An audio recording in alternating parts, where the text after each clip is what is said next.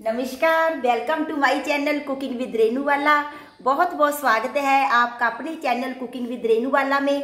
सबसे पहले मैं एक आपको इन्फॉर्मेशन देना चाहूँगी कि रेनू वाला चैनल के साथ साथ मैंने रेनू वाला ब्लॉग भी शुरू किया है जिस पे मैं घरेलू जानकारी के साथ साथ जो हमारे हिंदू धर्म के व्रत उपवास होते हैं, उनके कथा कहानी और जो घरेलू शिक्षा है, थोड़ी बहुत आयुर्वेदिक की जानकारी और रेमडीज और टिप्स होम टिप्स का भी उसमें थोड़ा बहुत विवरण प्रस्तुत करूँगी प्रेजेंट करूँगी। तो आज सबसे पहले तो आपको नवरात्रि के शुभ अवसर पर बहुत बहुत शुभकामनाएँ। जय नवरात्रि। आप सभी व्यूअर्स के लिए सुख समृद्धि, स्वास्थ्य सुरक्षा लेकर आए। और नवरात्रों की मैंने पहले भी बहुत सी वीडियो जो हम व्रत उपवास में फलोहारी डाल रखी है, जैसे पेठे का हलवा, आलू का हलवा, गेये का, शकरगंदी का, गाजर का, लौकी की खीर, शकरगंदी की खीर और ऐसी बहुत सी चीज़ें जो व्रत उपवास में हम आ, कर सकते हैं। कुट्टू के आटे की पूड़ी कुट्टू के आटे की सेम तो और संघाड़े के आटे का हलवा संघाड़े के आटे के लड्डू संघाड़े के आटे की मीठी नमकीन खटमटी नमकीन ऐसी बहुत सी चीज़ें मैंने व्रत उपवास में डाल रखी है, जो आप प्ले लिस्ट में भी देख सकते हैं और इसका लिंक मैं डिस्क्रिप्शन बॉक्स में भी दे दूँगी, ताकि आपको इजी हो जाए और आप फलोहारी चीज़ों का उपयोग कर सके। व्रत व्रत उपवास में आज हम, मैंने समा के लड्डू भी डाले हुए हैं, जो जन्माष्टमी स्पेशल नाम के पर डाले थे, और नारियल के लड्डू भी डाले हुए हैं, जो भी आप व्रत उपवास में प्रयोग कर सकते हैं। तो आज हम सामा के आटे। समा भी बोलते हैं और पंजाब में इसे सौंखिया चावल बोलते हैं। उसकी मलाईदार गाढ़ी, बहुत ही टेस्टी क्रीमी खीर आपको बतानी, बताऊँगी। तो ये मैंने फाइव टेबल स्पून जो वज़न में पचहत्तर ग्राम है सोंखिया चावल पंजाब में बोलती है। और हिंदी भाषी क्षेत्रों में समा के चावल बोलते हैं, कुछ मोरधन भी बोलते हैं। वो मैंने वज़न में पचहत्तर ग्राम ले लिए थे और पाँच टेबल स्पून अगर आप टेबल स्पून से ले, लेते हैं, उसे मैंने अच्छी तरह आपने छल्ली में डालकर धोना है, जो ब्रीक वाली चाय छालनी होती है, क्योंकि ये बहुत ब्रीक होते हैं, पानी में बह जाते हैं। मैंने अच्छी तरह वॉश करके इनको आधा घंटे के लिए भिगो दिया था, जे कि खूब फूल जाए। और एक बात, ये बहुत अच्छी प्रकार का मिलेट होता है जो हम फाइबर रिच होता है विटामिन मिनरल्स भरपूर मात्रा में रहते हैं, और ये जो मिलट है ये हमारे जो डाइजेस्टिव सिस्टम के ऑर्गन्स हैं किडनी बाल ग्लैडर और बहुत से फ़ायदेमंद उन डाइजेस्टिव सिस्टम के ऑर्गन्स को फ़ायदा पहुंचाता है। तो ये आपने अनपॉलिश्ड ही लेने होते हैं पॉलिश्ड भी आते हैं तो जो अनपॉलिश होते हैं, उनका ज़्यादा फ़ायदा रहता है। तो अब सबसे पहले मैं क्या करूँगी कि गैस का बर्नर ऑन करते हैं हम लोग। तो उसमें एक टेबल स्पून तक घी डालते हैं।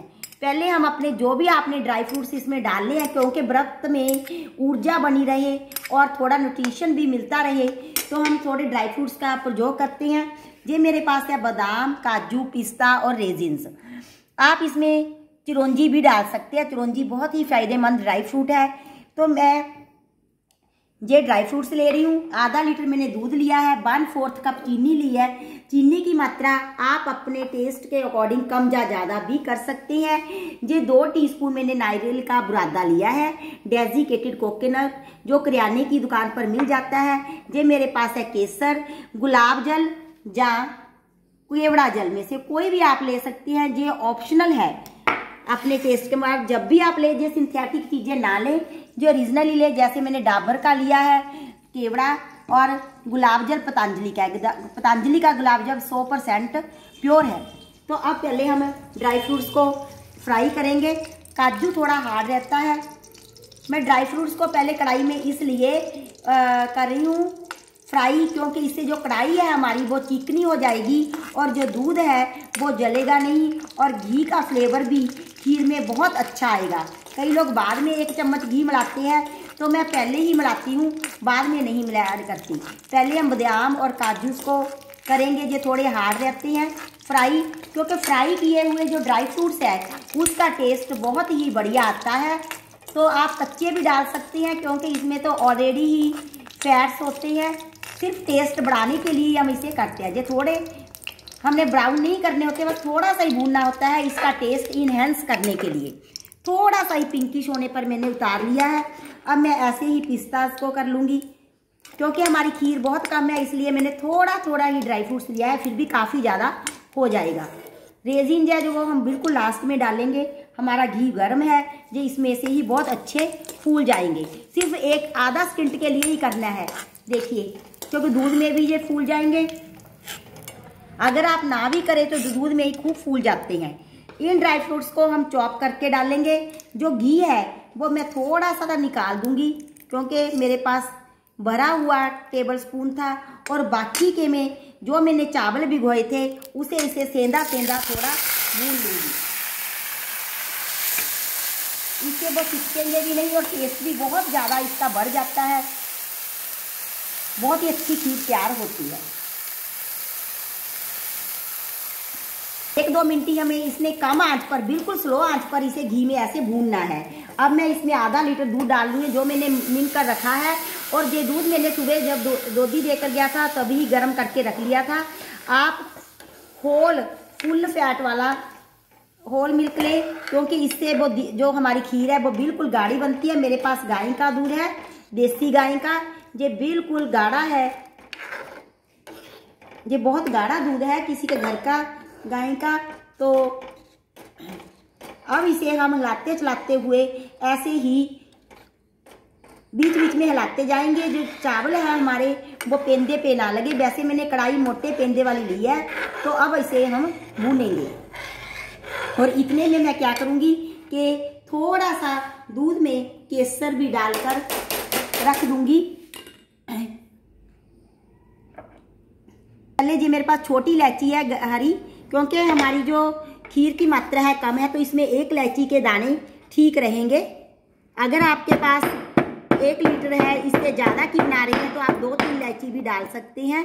तो हम इसका पाउडर बना लूँगी और दूध के साथ ही बॉईल करूँगी, ताकि इसकी खुशबू है, वो अच्छी तरह दूध में आ जाए। बाद में इलायची पाउडर मिलाकर नहीं डालूँगी, इससे कई गुना ज़्यादा खुशबू आती है जब इलायची पक जाती है और इसके पूरे गुण भी दूध में उतर आते हैं। तो मैं इसके खीर के साथ ही पकाऊँगी इसे। ताकि हमारे सभी चीज़ों के पूरी पौष्टिकता गुण हमें प्राप्त हो सके। अब मैं दो चार केसर के धागे लूँगी और इसे पानी में अच्छी तरह दूध में, सॉरी भिगो दूँगी नहीं, आप खरल में भी, खलबट्टे में भी इसे दूध के साथ पी सकते हैं, ऐसे इस प्रकार से। अब अपनी खीर को हम मीडियम टू लो फ्लेम पर बीच बीच में हिलाते हुए पकाएँगे। जब थोड़ी गाढ़ी हो जाएगी तो हम लगातार इसे हिलाते हुए पकाएँगे। हमने अपनी खीर को बीच बीच में हिलाते हुए पकाना है। ये हमारी खीर है, बहुत जल्दी तैयार हो जाएगी, क्योंकि हमने चावलों को आधा घंटा पहले भिगो दिया था और दूसरी बात हमने घी में इसे थोड़ा सेक लिया था। जो इसमें मलाई आएगी, गाढ़ापन आएगा, उसे हमने कुर्च कुर्च कर बीच में ही डालते जाना है। देखिए, हमारी खीर कितनी गाढ़ी होती जा रही है। इस प्रकार से हम लाते रहेंगे और इसे सिम आँच पर लो फ्लेम पर ही पकाना है, ताकि ये अच्छी तरह कड़ के इसका स्वाद है वो कई गुना बढ़ जाए और धीरे धीरे करते हुए बने, मलाई इसमें बनती जाए। तो इस प्रकार से हम इसे और पकाएँगे। इसे 10 मिनट हो गए हैं पकते हुए। तो अगर आपको लगे कि थोड़ा दूध कम है क्योंकि ये चावलों की क्वालिटी पर डिपर डिपेंड करता है। जितना मैंने मात्रा बताई है वो तो आधा लीटर के लिए बताई ही है। अगर चावल अनपॉलिश्ड और बढ़िया हो तो कई बार दूध की मात्रा हमें और भी ज़्यादा डालनी पड़ती है तो आप डाल सकते हैं। मेरा को भी दूध की थोड़ी मात्रा और डालनी पड़ेगी क्योंकि मैं चाहती हूँ कि थोड़ा और ये पक जाए पाँच मिनट और पक जाए ताकि उसका तो जो टेस्ट है का, काफ़ी इन्हेंस हो जाता है बढ़ जाता है अच्छा लगता है। भिगोकर रखा है, उसे हम खरल में डालकर इस प्रकार से इसकी पंखड़ियों को पीस लेंगे ताकि इसका पूरा कलर आ जाए। कलर भी आ जाएगा और इसका फ्लेवर, टेस्ट भी आ जाएगा। अगर तो आप ज़्यादा मात्रा में केसर डाल रहे हैं, फिर तो आप ऐसे कर सकते हैं कि केवड़ा और गुलाब जल को अवॉइड भी कर सकते हैं। ये दोनों चीज़ें ऑप्शनल है। अगर तो आप ठंडी परोसनी है तो इसे डालिए। बहुत टेस्टी बनेगी। अगर आपने पुओं के साथ गरम गरम परोसनी है तो आप इसे अवॉइड भी कर सकते हैं। केसर की मात्रा भी बढ़ा सकते हैं। देखिए कितना अच्छा कलर आया है केसर का। केसर हमारे स्वास्थ्य के लिए बहुत बढ़िया होता है एंटीऑक्सीडेंट से भरपूर होता है और इसी का प्रयोग हमें सर्दियों में करना चाहिए। ये खांसी, सर्दी, जुकाम से भी हमारी रक्षा करता है, प्रतिरोधक शक्ति को भी बढ़ाता है। इस प्रकार से हम इसे घोट लेंगे। मैंने केसर वाला दूध भी डाल रखा है सर्दी, जुकाम से बचने के लिए। सर्दी में हफ़्ते में एक एक बार हमें ज़रूर प्रयोग करना चाहिए, ताकि हम सर्दी के दिनों में सर्दी से बच सके। खीर को पकते हुए 12 मिनट हो गया। जो देखिए, पहले की कंपैरेटिवली तुलना में बहुत गाढ़ी भी हो गई है। अब इसमें मैं टू टीस्पून डेजिग्रेटेड कोकोनट नारियल का, यानी कि बुरादा मिला रही हूँ, ताकि जो इसके साथ पक जाए इसमें गाढ़ापन भी आए और टेस्ट भी बढ़ जाए। थोड़ा सा दूध मैं और ऐड कर रही हूँ। आधा कप के लगभग मैंने थोड़ा सा दूध और मिला दिया है। तो और इसे मैं पाँच, चार, पाँच मिनट तक और पकाऊँगी। यानी कि पंद्रह और बीस मिनट के बीच बीच हमारी खीर बहुत अच्छी तैयार हो जाती है, यानी कि बहुत जल्दी बन जाती है। अगर आपने इसे ज़्यादा समय तक भिगोया है और ज़्यादा मिनट तक दो चार मिनट तक घी में भुना है तो ये पंद्रह मिनट में ही बनकर बिल्कुल टेस्टी खाने लायक हो जाती है।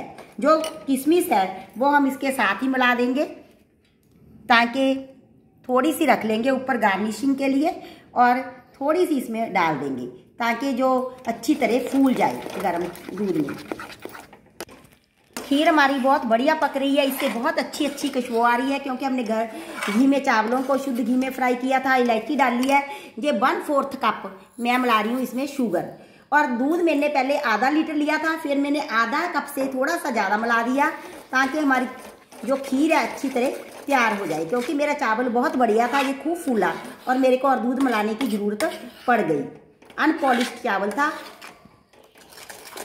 तो इस प्रकार से ये एक बहुत बढ़िया ही ग्लूटन फ्री मिलेट है। आपको ज़रूर इसका प्रयोग करना चाहिए। ये बहुत से पेट के रोगों को भी ख़त्म करता है। शायद इसलिए ही हमारे बुज़ुर्गों ने नवरात्रि, व्रत, उपवास आदि में इसका प्रयोग करने की सलाह दी होगी, ताकि उन दिनों में हम भारी भोजन भी नहीं करते हैं। जो हमारे पेट के ऑर्गन हैं, वो इस प्रकार की चीज़ों का प्रयोग करके सशक्त हो सके, रोग रहत हो सके।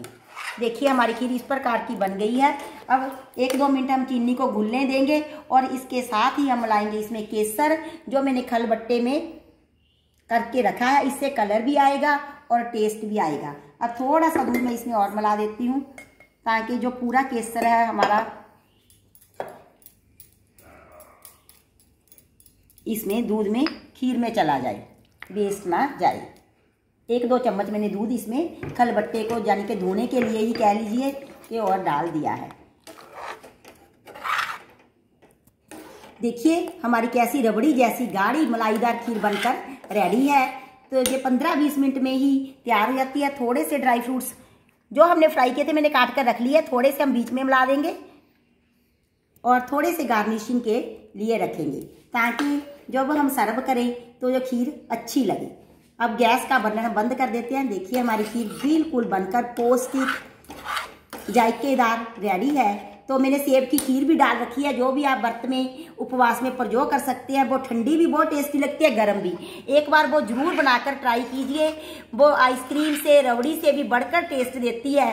तो एक मैं और इन्फॉर्मेशन देना चाहूँगी, जो मेरे लोकल व्यूअर्स है, उनके लिए कि मैंने ड्राई केक्स का अपना काम शुरू किया है। जहाँ पर ड्राई केक्स की कोचिंग भी दूँगी मैं, और मैं सेल भी करती हूँ। अगर किसी ने लेने हो, हमारे से कंटेक्ट करके वो ड्राई केक्स खरीद भी सकता है और उनकी कोचिंग भी ले सकता है।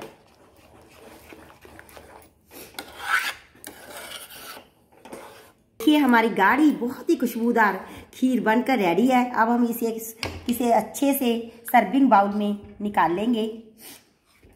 बिल्कुल रबड़ी जैसी हमारी खीर बनी है, जो खाने की दृष्टि से पौष्टिकता की दृष्टि से भी बहुत पोषिक है पोषक तत्वों से भरपूर है इजीली डाइजेस्टेबल है। तो इसे हम इस प्रकार से सर्विंग बाउल में निकाल लेंगे। जो ड्राई फ्रूट्स हमने किए थे फ्राई उसको मैंने ब्रीक ब्रीक काट लिया, इसकी गार्निशिंग करेंगे, ताकि खाने वाले का फटाफट बिना भूख के भी दिल करे, उसकी भूख बढ़ जाए।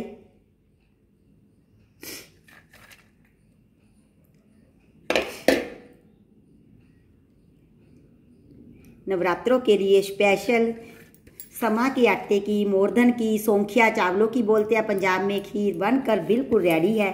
तो लीजिए साहब, आपके लिए खीर तैयार है। आप भी इस प्रकार समा के आटे की चावल की सॉरी खीर बनाइए। दुर्गा माँ को अर्पण कीजिए, भोग लगाइए, खुद खाइए और अपने मेहमानों को खिलाइए।